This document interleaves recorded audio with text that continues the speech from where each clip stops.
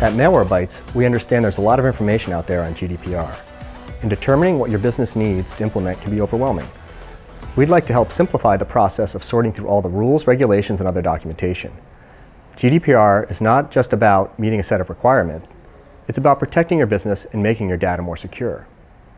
Do you have or use any personal data of European citizens? If you do, GDPR applies, even if you're outside of the European Union. Once you know it applies, then you need to look at how you protect the rights of data subjects. These include the right to be forgotten, notification of data breaches, strict consent rules, and data protection requirements, just to name a few. So I would like to focus on the ways malware Malwarebytes can help secure your data and avoid potential breaches. We can help prevent zero-day attacks and data breaches with our multi-layered protection. This includes both static and dynamic detection techniques across the entire attack chain. In the event an infection occurs, our proprietary remediation technology removes the infection and related artifacts. This returns your endpoints to a truly healthy state.